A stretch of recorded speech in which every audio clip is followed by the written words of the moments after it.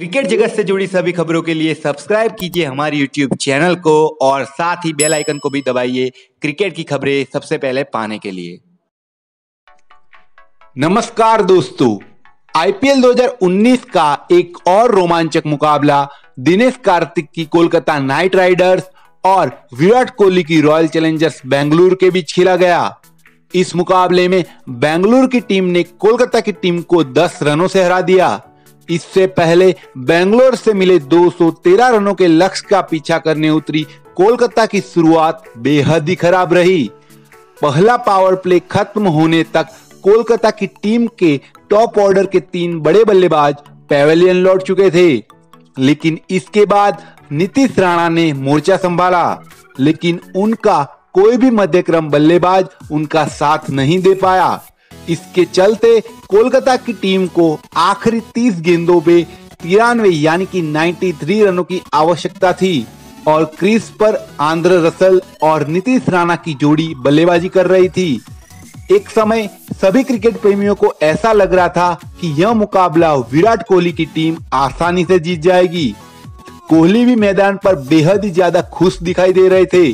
लेकिन उनको आगे आने वाला तूफ़ान का कोई अंदाज़ा नहीं था। दोस्तों, आंध्र रसल और नीतीश राणा ने पारी के 16 ओवर से बेंगलुरु के हर एक गेंद को मैदान के बाहर पहुंचाना शुरू किया। अब कोलकाता की टीम को आखिरी तीन ओवर में इकसठ रनों का नाम मुमकिन सा लक्ष्य हासिल करना था और गेंदबाजी डालने आए क्रिकेट इतिहास के सबसे तेज गेंदबाज डेल स्टेन।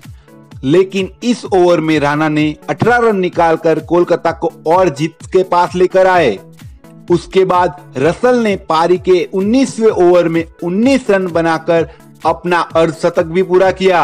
अब कोलकाता को आखिरी छह गेंदों में 24 रन की आवश्यकता थी, लेकिन आखिरी ओवर में रसल और राणा मिलकर यह लक्ष्य नहीं बना पाए और कोलकाता की टीम इस मुकाबले में हार गई। इससे पहले कोलकाता ने टॉस जीतकर बेंगलुरु को पहले बल्लेबाजी के लिए आमंत्रित किया। पहले बल्लेबाजी करने आए बेंगलुरु की शुरुआत लाजवाब रही। इस मुकाबले में खुद कप्तान कोहली ने कप्तानी पारी खेलकर सभी बेंगलुरु के फैंस का दिल जीत लिया। विराट कोहली ने इस मुकाबले में केवल अट्ठावन गेंदों पर 100 रनों की तूफानी पारी खेली। उनके साथ मिलकर मोइन अली ने भी आतिशी पारी खेलकर बेंगलुरु का स्कोर 200 के पार पहुँचाया।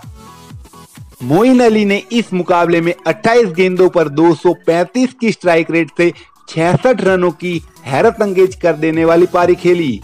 विराट कोहली और मोइन अली की तूफानी पारी की मदद से बेंगलुरु की टीम 213 रनों का विशाल लक्ष्य कोलकाता की टीम को देने में सफल रही।